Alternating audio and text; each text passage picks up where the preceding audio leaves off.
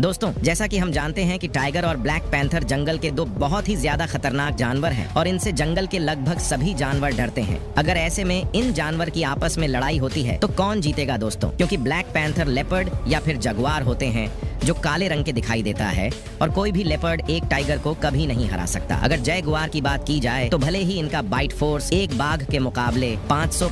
ज्यादा होता है लेकिन इसके बावजूद बाघ इनसे से आकार में और वजन में काफी ज्यादा बड़े होते हैं हालांकि ऐसा माना जाता है कि अगर जयगुआर आकार में टाइगर के बराबर होते हैं तो टाइगर से भी कई गुना ज्यादा ताकतवर होता है और उन्हें आसानी से हरा सकते थे लेकिन वास्तव में ऐसा संभव नहीं है इसलिए अगर इन दोनों जानवरों में लड़ाई होती है तो या तो ब्लैक पैंथर वहाँ से बचकर भाग सकता है या फिर फिर टाइगर के सामने नहीं टिक पाएगा और मारा जाएगा इसलिए इस लड़ाई का क्लियर विनर है टाइगर